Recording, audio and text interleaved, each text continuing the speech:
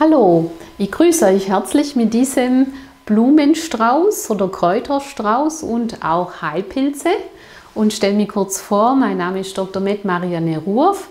Ich bin Fachärztin für allgemeine Medizin, traditionelle chinesische Medizin und Phytotherapie. Das ist Pflanzenheilkunde und habe eine Praxis in Bern und äh, möchte euch sagen, es gibt sehr viele antiviral wirksame Heilpflanzen und Pflanzenwirkstoffe und auch Pilze, die auch jetzt gerade in der Coronavirus-Zeit sehr hilfreich sind.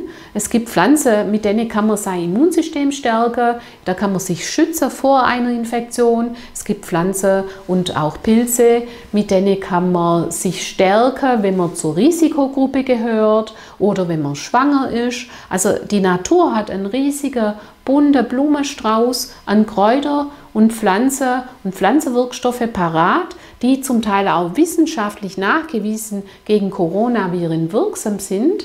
Wir haben dazu einen Vortrag zusammengestellt, wo das alles ausführlich erwähnt wird, inklusive Tipps, was ihr selber machen könnt, wie ihr euch schützen könnt, welche Heilpflanze und welche Tees man trinken kann zum Beispiel oder auch was man als Präparate erhältlich hat. Ihr seid ganz herzlich eingeladen, zuzuhören und vielleicht könnt ihr selber ganz viel dafür tun, um euch zu schützen oder für eure Gesundheit.